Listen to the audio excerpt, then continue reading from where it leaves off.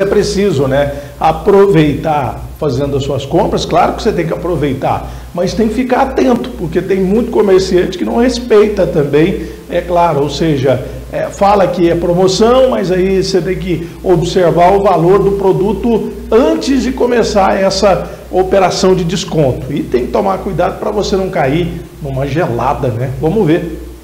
Com a proximidade da Black Friday, muitas promoções parecem imperdíveis, mas o consumidor precisa ficar atento para não pagar a metade do dobro. O Jailton está de olho em uma armação de óculos e começou as pesquisas de preço para ver se os descontos vão valer a pena. Está variando bastante, né? E, e uma coisa que você convive com o teu corpo, que é o óculos, né? Que você usa todos os dias, então é, é para achar uma armação adequada é é, é meio complicado, assim, né? Você tem que não pode ser qualquer uma, tem que adaptar o rosto, né? Tem toda aquela. Então, estou na pesquisa aí, né? Numa pesquisa feita pelo Mercado Livre, 8 em cada 10 brasileiros planejam gastar mais nesta edição da Black Friday e mais de 80% pretendem gastar até 2 mil reais.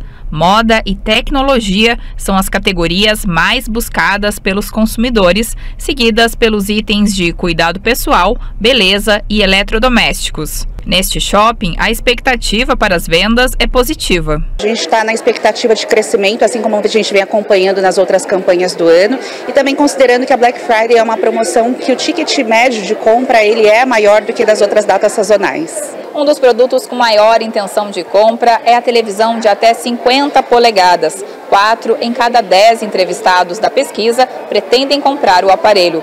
Com a Black Friday na mesma época da Copa do Mundo, para muita gente é uma oportunidade para ver o Mundial numa tela maior.